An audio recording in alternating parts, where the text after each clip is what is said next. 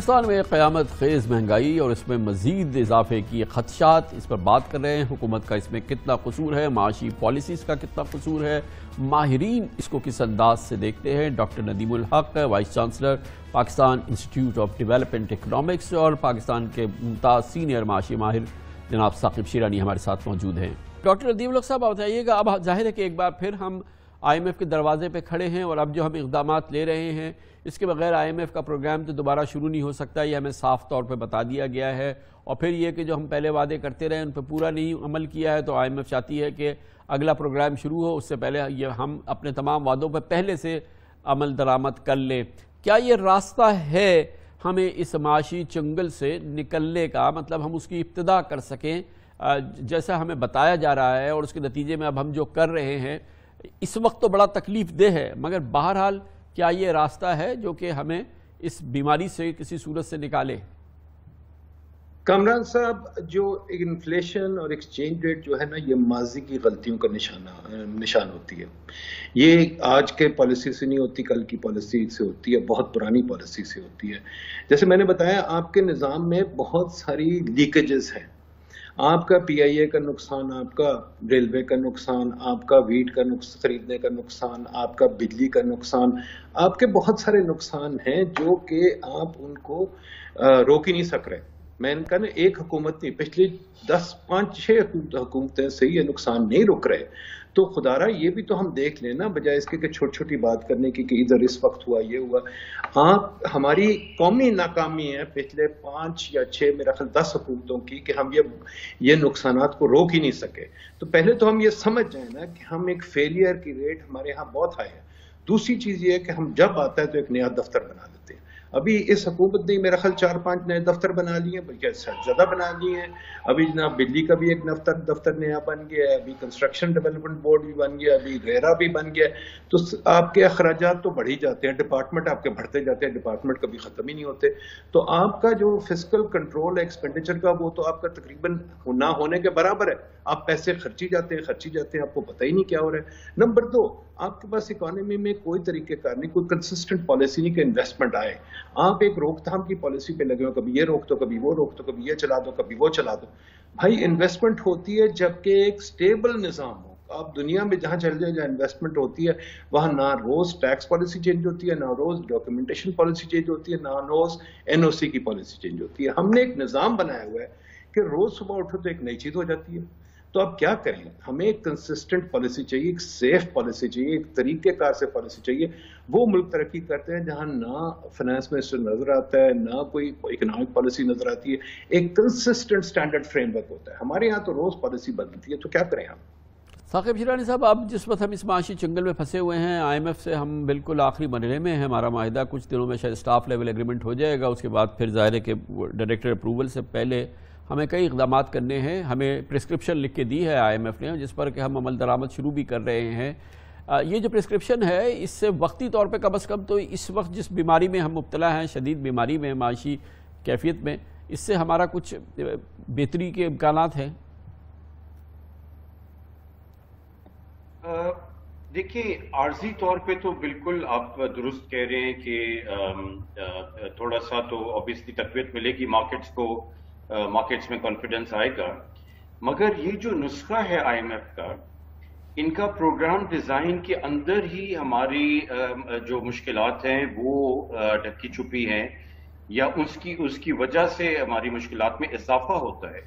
Rather than कि हम reforms की तरफ़ जाएँ, ये एक्चुअली हमारी जो प्रोग्राम है, ये एंटी ग्रोथ तो होता ही होता है लाजमी तौर पे। मगर ये रिफॉर्म्स को भी तकवीत देने के बजाय रिफॉर्म्स को डीरेल करता है पाकिस्तान में।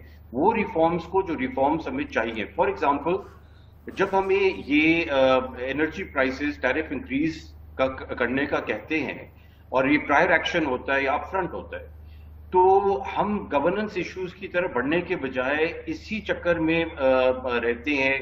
टैरिफ इंक्रीज होता है, चोरी बढ़ जाती है। उससे वो पूरा करने के लिए टैरिफ इंक्रीज फिर करते हैं फिर चोरी बढ़ जाती है। तो ये आईएमएफ प्रोग्राम के अंदर ही हमारे मसाइल हैं रादर दैन के हल है। तो मेरा ख्याल है ये हुकूमत को अनफॉर्चुनेट है कि दोबारा आईएमएफ की तरफ़ जाना पड़ रहा है।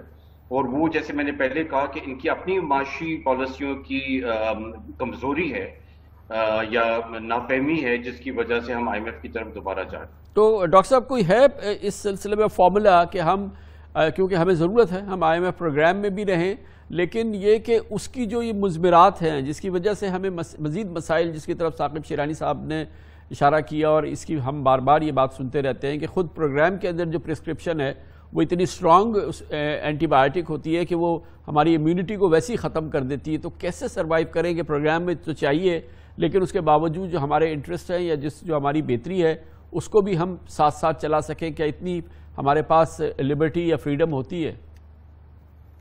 कामरान साहब, मैं आपके शो पे बड़ी बारी कह चुका हूँ कि आईएमएफ जो है, वो इंटरनेशनल इमरजेंसी वार्ड है। वो बना ही इसलिए था कि इमरजेंसी वार्ड में आए जब आप बिल्कुल नाजुक हालत में हो।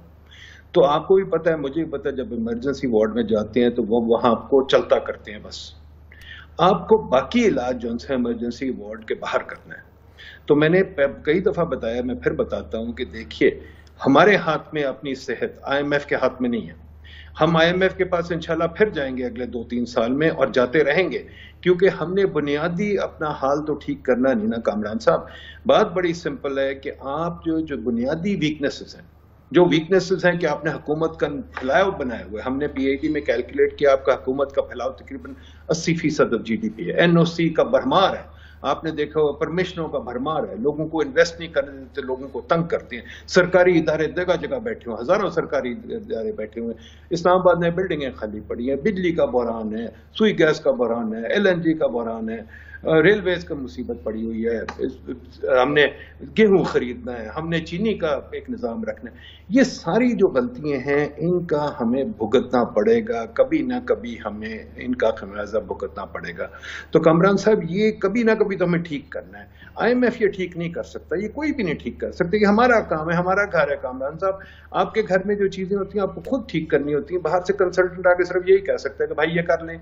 अगर आप नहीं करना चाहते तो फिर आपको कभी ना कभी तो प्राइस पे करनी तो अच्छा साकिब साहब ये बताइएगा कि बहरहाल इस वक्त जब हम ये रिसर्च था आई प्रोग्राम तो खैर चल ही रहा है लेकिन अब हम दोबारा उसकी एक एक्टिव फ़ेज़ के अंदर आ रहे हैं लेकिन ये उस वक्त है कि इत, जैसे इससे पहले होता रहा है कि तबाहकुन सूरत हाल होती है जब ये प्रोग्राम शुरू हो रहा होता है हमारे नंबर्स वो इतनी ख़राब सूरत हाल इस वक्त नहीं है चाहे हम अपने रिज़र्व्स को देखें चाहे हमारे जो जो रेमिटेंसेज हैं उनको देखें और हमारे अभी जो इस वक्त जो बहरहाल रेवेन्यूज़ हैं इम्पोर्ट ड्रिवन ज़रूर है, मगर बहरहाल रेवेन्यूज़ में बड़ा काबिल ज़िक्र इजाफा है। हमारी कॉपरेट अर्निंग्स बहुत अच्छी आ रही हैं। ये कम अज़ कम जो एरियाज़ हैं इकानमी के, ये काफ़ी बेहतर अंदाज में चल रहे हैं।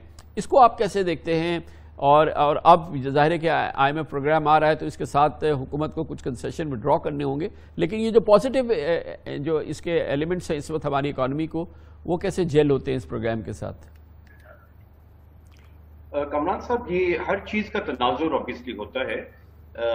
आपने दुरुस्त कहा कि अगर सिर्फ़ आप इनको एब्सलूट टर्म्स में देखें तो रेवेन्यूज भी बहुत बड़ी हैं एक्सपोर्ट्स भी बड़ी हैं रेमिटेंसेस हिस्टोरिक है।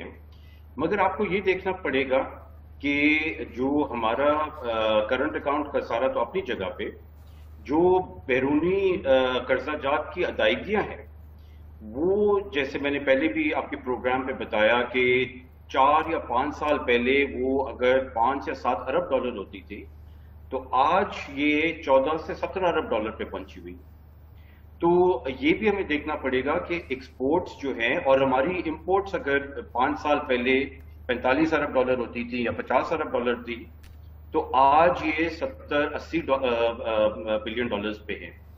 तो एक्सपोर्ट्स की इंक्रीज वहाँ वो कवर नहीं कर पा रही है, ना रेमिटेंसेस का जो इंक्रीज है, वो जो गैप्स है, वो कवर नहीं कर पा रहे आपका जो इंटरनल बैलेंस है, इसके बावजूद कि रेवेन्यू बिल्कुल दुरुस्त आपने कहा कि रेवेन्यूज इंक्रीज हुई हैं, मगर पहली बात है, उनकी जो बेसिस है, वो स्ट्रक्चरल नहीं है, वो सिक्रिकल है। जैसे आपने खुद कहा कि वो इम्पोर्ट्स के ऊपर डिपेंडेंट है, ना कि एफबीआर के या टैक्स के, निज़ाम की असलाहत के ऊपर बुनियाद हो उनकी। दूसरा जो है, अगर रेवेन्यूज भी बढ़ी हैं तो दूसरी तरफ़ अखराज भी बढ़े। हमारा मुतवातर तीन साल, आपको पता है, खसारा जो है, वो सात से आठ फ़ीसद के लगभग है, माली खसारा।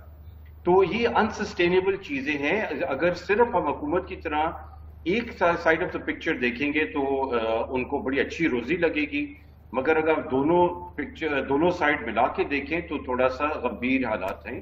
और मुश्किल हालात। तो डॉक्टर साहब डॉक्टर नदीम साहब आपने भी फरमाया और ज़ाहिर है कि आप जैसे तमाम माहरीन बल्कि अब तो आम पाकिस्तानी भी समझने लगा है कि ये कर्ज़ों का बोझ ये बार बार कर्ज़े लेना अभी आपने अपनी कॉमेंट्री में भी बार बार कहा कि ये कर्ज़े बार बार लेते रहेंगे हम ले रहे हैं। मगर करें तो क्या करें? हमें आफ्टर ऑल डेट सर्विसिंग भी करनी है ना। हम आ, मतलब डिफ़ॉल्ट तो नहीं कर सकते हैं। और उसको उसको सर्विस करने के लिए ये कर्ज़े तो हमें लेना है, ये तो एक विशेष साइकिल है, इससे निकलना तो नामुमकिन है और कैसे निकला जा सकता है इससे? सोल्यूशन आसान नहीं है, बहुत मुश्किल है, बिल्कुल मानता हूँ। बट उसके पैरामीटर्स समझने की ज़रूरत है, कर्जे लेने पड़ेंगे क्योंकि अपने आप को मजबूर कर लेते हैं। हुकूमत का साइज़ छोटा करें, हुकूमत का साइज़ छोटा करें, रोज एक नया दाराना बनाए मिनिस्ट्रियों कम करें मिनिस्ट्रियों को कम करें, अपने नुकसान को कम करें।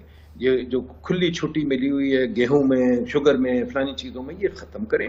नंबर दो, ये जो आपकी परमिशनिस्तान बना हुआ है, जो परमिशनें ले लेके आपने मारा हुआ है लोगों को, तंग किए हुए लोगों ने को खुदारा इन्वेस्टमेंट करने दें, खुदारा लोगों को खाने दें, कुछ करने दें। अभी आपने इन्वेस्टमेंट बिल्कुल रोकी हुई है, सब डरे बैठे हैं, क्योंकि किसी को पता नहीं चलता कब पकड़ दकड़ हो जाएगी। अगर आपने काम करने देना लोगों को तो तरक्की होगी, अगर तरक्की होगी तो आपका डेट गिरेगा। क्योंकि डेट हमेशा होते हैं प्रोपोर्शन टू योर इनकम आपने देखा अगर आपकी इनकम बहुत बढ़ जाए तो आप ज़्यादा डेट ले सकते हैं। अगर आप इन, इनकम गिरती रहे तो आप डेट आपके ऊपर मुसीबत बन जाता है। तो हमने अपनी पॉलिसी को कभी सोचा ही नहीं। हम पॉलिसी बनाते हैं ईएसी बिठा देते हैं। हमारे पास कोई इदारे नहीं पॉलिसी बनाने वाले हम सोचते नहीं है। और ये ये इस हकूमत की बात नहीं है प्लीज़ इस हकूमत की बात बिल्कुल नहीं है। ये हमारी चीज़ चल रही है बहुत देर से भुट्टो साहब के जमाने से चल रही है। पचास साठ साल से हमने पॉलिसी बनानी छोड़ी हुई है। हम सिर्फ़ एक फायर फाइटिंग करते हैं। फायर फाइटिंग के निज़ाम से निकलना पड़ेगा एक सोच के निज़ाम में आना पड़ेगा एक स्ट्रैटेजी क्विकली हमारे पास टाइम ख़त्म हो रहा है। ये बताइएगा कि इसमें बहुत सारी चीज़ें सिक्लिकल हैं इंटरनेशनल हैं। ख्याल यही है कि ऑयल प्राइसेस का ये प्रेशर जो है ये कम हो जाएगा कमोडिटी का प्राइसेस कम हो जाएँगे ये ये शिपिंग कॉस्ट वगैरह जो है कम होगी और फिर ये ओवरऑल जो सिचुएशन है, ये अगले महीने, दो तीन महीने के अंदर ठीक होगी। इससे हमारे ये जो इस वक्त के प्रेशर्स हैं, ये कितने मिटिगेट होंगे, कितनी उसमें कमी आएगी? कमना साहब कमी तो ज़ाहिर बात है आएगी।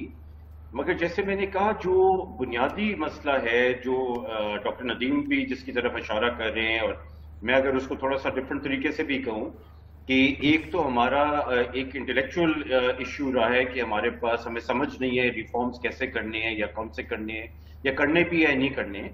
उसका एक बुनियादी मसला भी है। बुनियादी मसला ये है कि ये इलीटिस्ट इलीट कैप्चर में फंसे हुए और इलीट कैप्चर में जब फंसे होंगे, जब भी आपको सऊदी अरेबिया से पैसे मिलेंगे आईएमएफ से पैसे मिलेंगे, या आपको थोड़ी सी रिलीफ मिलेगी इंटरनेशनल ऑयल प्राइसेस गिर गई नीचे आपने जाके एस और इम्पोर्ट कर लेनी है, आपने नए मोबाइल फ़ोन और इम्पोर्ट कर लेने हैं। ये हमारा प्रॉब्लम जो है, ये ठीक नहीं हो पा रहा है। मेरा ख्याल हमारे डीएनए में जो ईट कैप्चर है, ये इतना रचा हुआ है और ये बुनियाद है हमारे सारे मसाइल की। थैंक यू सो मच बहुत शुक्रिया जनाब साकिब शेरानी डॉक्टर नदीम हक, इसके साथ ही हमारे आज